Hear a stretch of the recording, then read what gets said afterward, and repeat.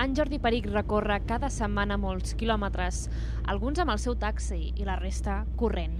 És taxista de professió i fa 30 anys va descobrir la passió pel running i no ho ha deixat mai. No he deixat mai de córrer des de fa 33 o 34 anys. Uh, jo abans jugava en vol, el que era balonmano, abans a Cardedeu, que era el, el millor esport que hi havia aquí al poble, i era bastant dolent i jugava molt poc. I com que jugava poc, vaig decidir que el dia que deixés de jugar aquest esport, faria un esport on pogués jugar molta estona. I la manera de, de jugar molta estona o de, és córrer on corro igual que el que guanya, però corro encara més estona que el que guanya. Era raro perquè a Cardedeu ja dic que érem molt pocs que corríem i la gent mm, jo sempre poso l'anècdota aquella de que, esclar, jo a mi tothom em coneixia per la meva feina i per la família, i quan em veia corrent tothom em deia agafa el taxi que arribaràs abans, no? Vull dir, ara ja no m'ho diuen, però en aquella època sí, sí, ens, ens, ens miraven com uns bitxos raros. Recorrem amb el seu taxi un dels trams de la mitja de Granollers, entre les Franqueses i la Garriga. És el quilòmetre 15. És el, la penúltima pujada que hi ha abans de l'avitollament, abans de l'Utrassa. I després, un cop arribes a dalt, pràcticament ja tot és cara avall, no? És l'únic que sembla que estigui una mica més dur. Fa uns quants minuts que ha acabat la mitja marató d'aquí a Granollers.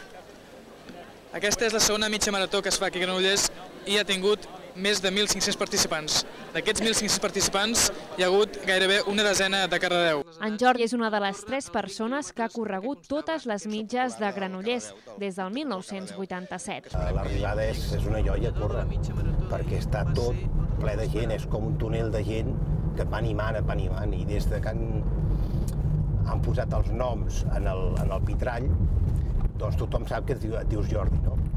I, i la gent et va animant, Jordi, vinga, Jordi, vinga, i bé, això és una, és una gran ajuda pel corredor.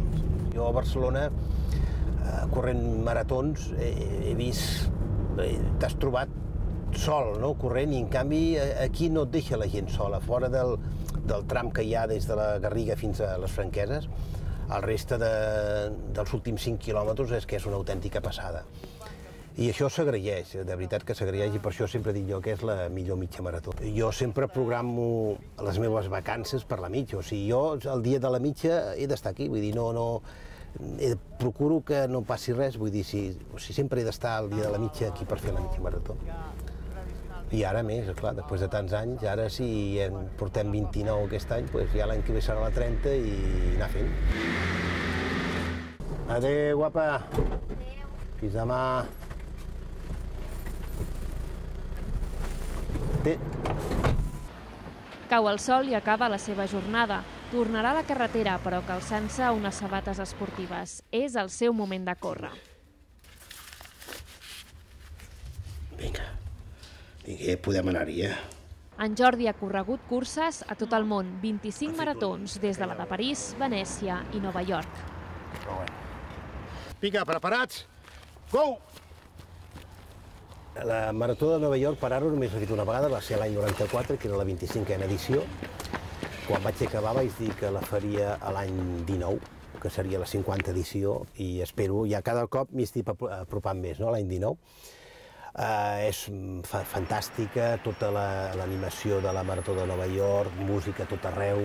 I quan arribes cansat després de les 3 hores i mitja que vaig estar, 3 hores 33, eh, arribes a l'hotel amb la teva medalla, que la vaig tenir 3 dies penjada al coll, perquè tothom que l'havia corregut anava amb, amb la medalla penjada al coll, i et diu congratulations, i dius, ostres, aquest home... És i t'anaves a, a, a un restaurant amb la medalla penjada i la gent et deixava la seva cadira i deia no, no, menja tu perquè ets, ets un heroi, no? Molt diferent a la, la mentalitat que tenim a, aquí sobre el, el corredor. Aquí el corredor, quan fa una carrera, li, li pregunten quin has quedat?